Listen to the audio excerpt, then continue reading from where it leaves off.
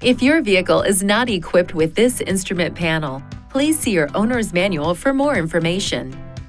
The rear cross traffic alert helps alert the driver of approaching vehicles when the driver is backing out of a parking space.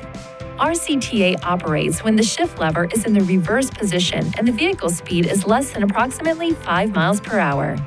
If the radar detects an approaching vehicle from the side, a chime sounds and the blind spot warning rear cross traffic alert indicator light on the side of the approaching vehicle flashes. There may be instances when you want to turn the rear cross traffic alert system off. To enable or disable the system, use these controls to select Settings, Driver Assistance, then Rear Cross Traffic Alert to toggle the system on or off. Please see your owner's manual for important safety information, system limitations, and additional operating and feature information.